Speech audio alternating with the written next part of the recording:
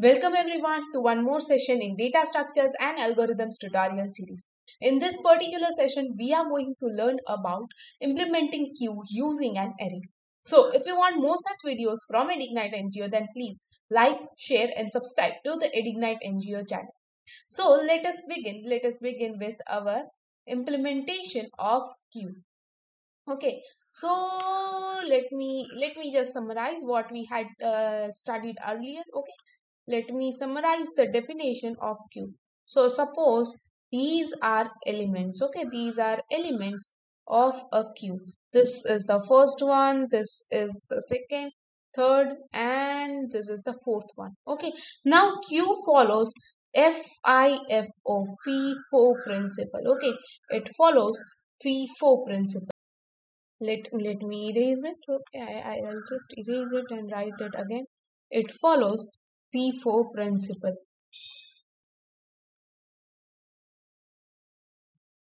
F I F O FIFO. Okay, that is first in, first out. Okay, so suppose I want to I want to add an element five. Okay, I then I need to add the element from here. Okay, at the last. But when I remove it, okay, I can only remove the first element. So this is known as FIFO principle. Okay, first that comes in will be the first one that goes out. Okay, so that uh, that is the FIFO principle, and we will uh, use this FIFO principle. According to this FIFO principle, we will have three things in our structure. Okay, in the structure of queue that we make as you know queue is an abstract data type so we need to make it make its structure okay? So first one will be size okay? Obviously then we we will have an array okay? Then we will have an array. Then we will have the front part from where we can delete the elements and then we will have rear part okay? Then we will have a rear part from where we can add elements okay so suppose we this is our array okay. I will draw an array for you. Suppose this is the array. Okay and we have several elements over here. This is the size of the array okay. This is the size of the array. 1 2 3 4 5 6 and 7 okay so this is our array and over here over here we have we have our front index as well as rear index okay?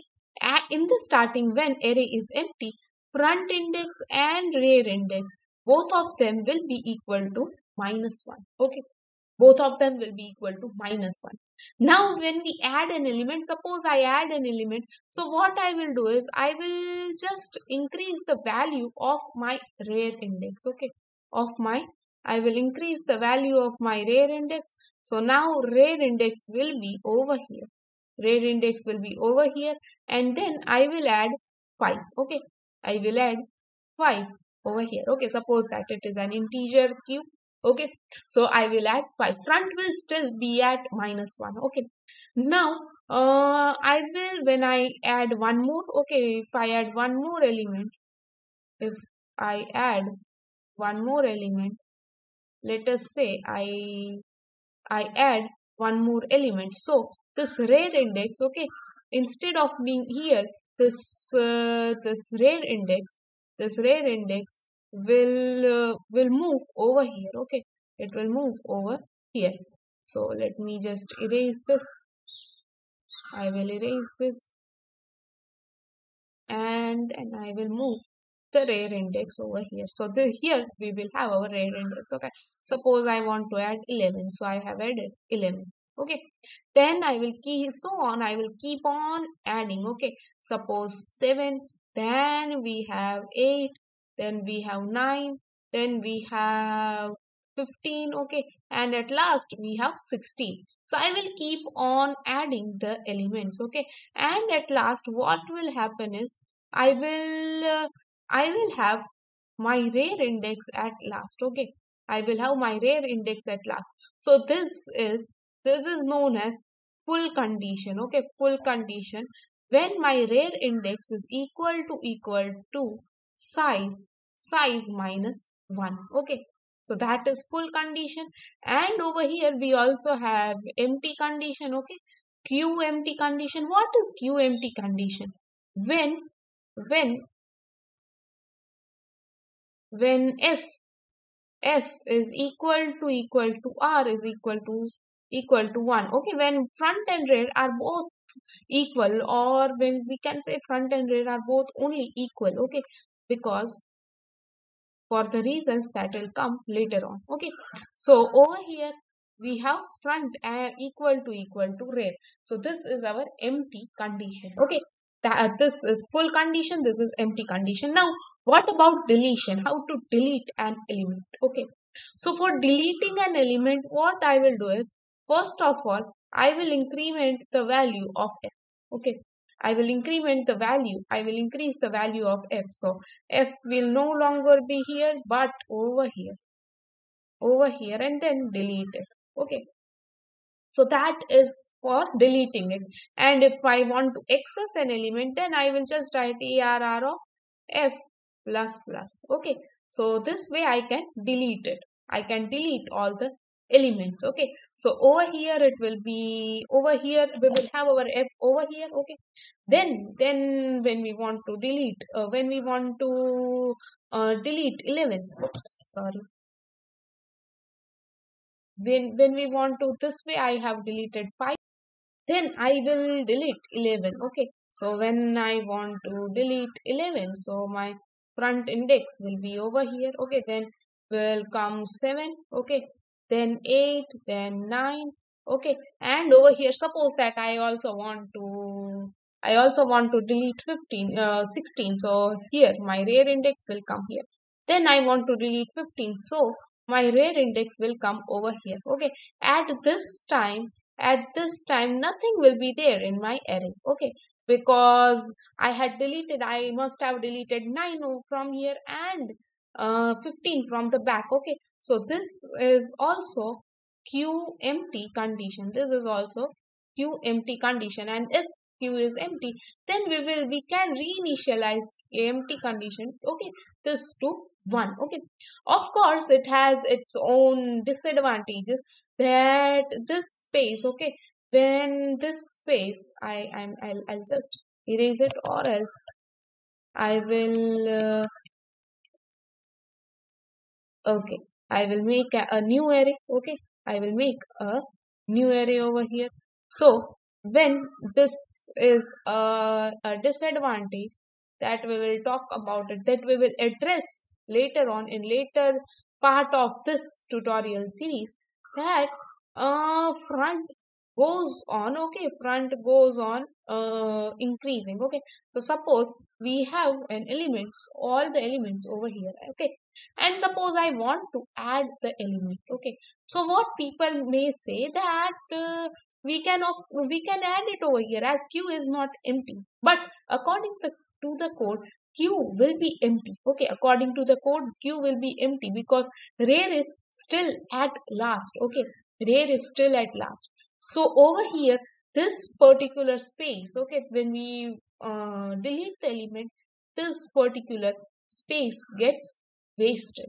Okay this space gets wasted. So we will address this in the as i said earlier we will address this in the later part of this particular tutorial series.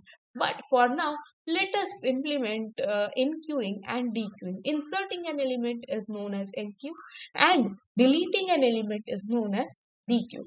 So let us move to our Visual Studio Code and over here implement our queue. So first of all we will include both the libraries okay include stdio and include standard library. So include include stdio.h dio.h stdio.h and include include include stdlib.h stdlib dot h. Okay.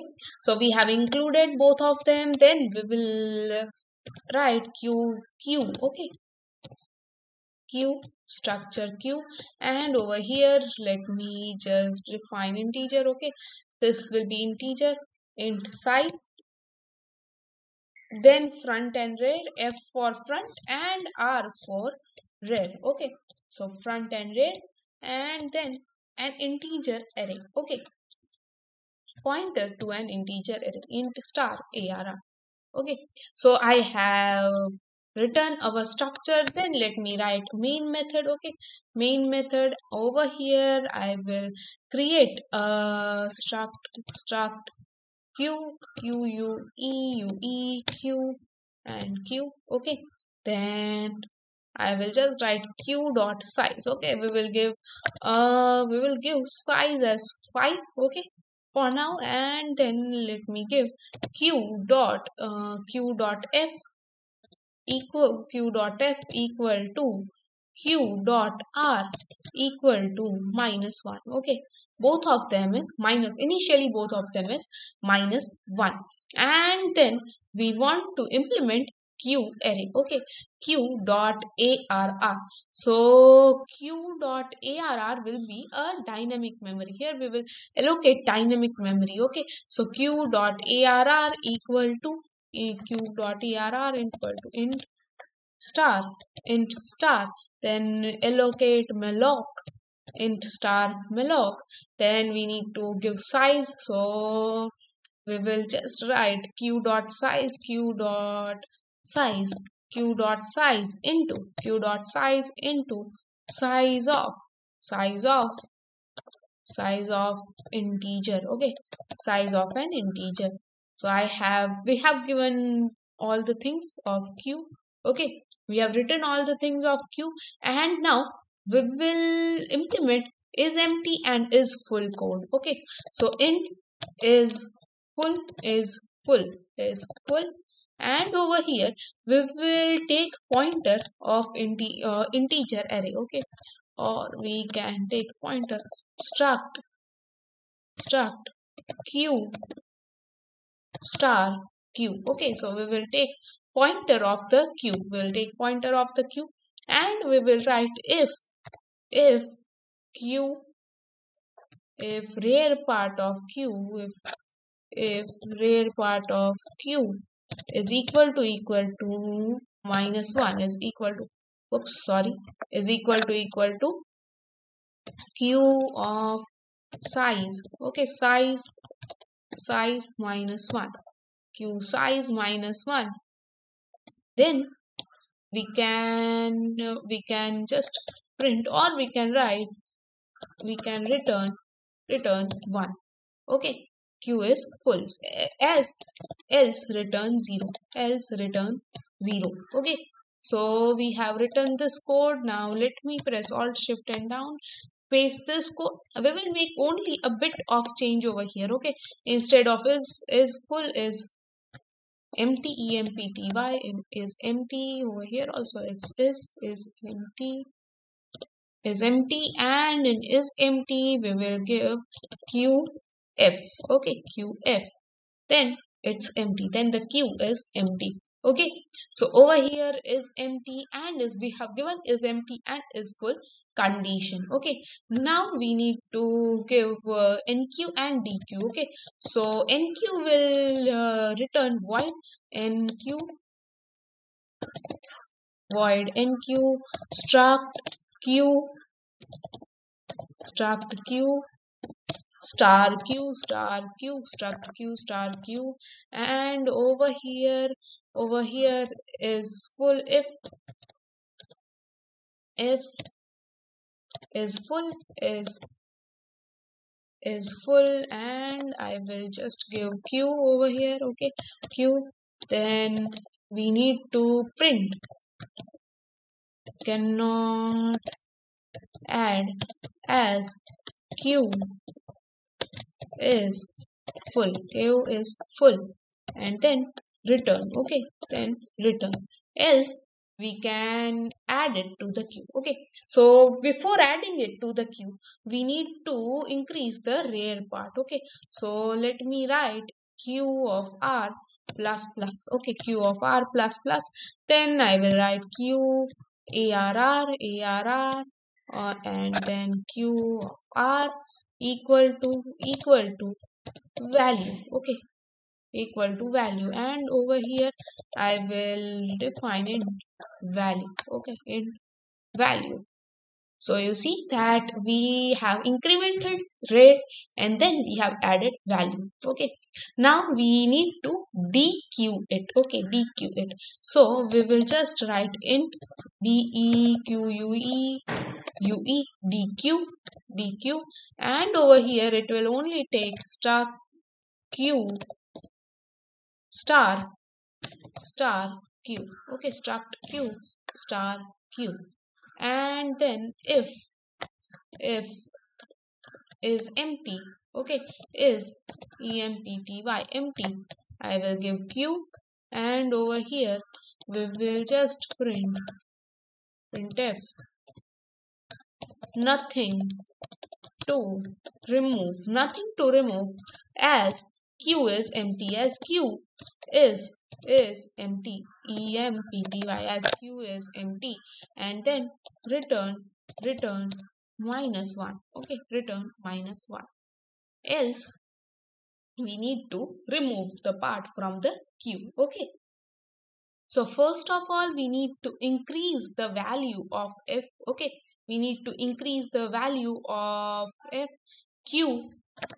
Q of f plus plus. Okay. And then we need to we need to give a equal to q. Arr arr and then q f. Okay. Q f. Oops. Q q of f. Okay. And over here i will just initialize this to integer and then return a return a okay. So over here you see that we have increased okay increased it okay and then we have dequed it okay we have increased the value of f okay. So this is the way we can implement the q only a, a short correction over here okay a short correction over here. From here rare will not come. Okay rare will not uh, come over here but front will go. Okay front will go from here to here. Okay till last. Okay so that is the correction. We cannot as we cannot delete from this particular end. Okay we cannot delete from the rear part okay so that was the correction. Now i let us move to visual studio code okay? And then we can implement the code okay? So first of all we we have created a queue okay? So we will just uh, print okay? If if I will just print is empty is empty if is empty. And then we will give address of queue okay? We will play with the address over here so if is empty printf printf q is empty. Okay q is em empty okay q is empty. If is empty then we need to print this particular statement. Okay now we can just uh, enqueue it. Okay so en enqueue enqueue and over here let me pass 12 then I will just enqueue it and pass 67 okay. Then let me press alt shift and down. Okay. I, I, I also need to give ampersand q. Okay. So let me just press alt key and give it simultaneously. Okay. So ampersand q ampersand q and then let let me just copy paste it I have five added five things over here okay. 56 then I have 89 and then it will be 34 okay. 34 now we need to we can give this okay. Control C control V control V and then alt shift down okay. We can check if it is empty and if the queue is full okay so let me check if it is full and if it is empty. Q is full. If the queue is full so over here we will give q is full. Okay q is full. Now let let us run the code okay? Let us run the code over here. Okay it's getting run okay?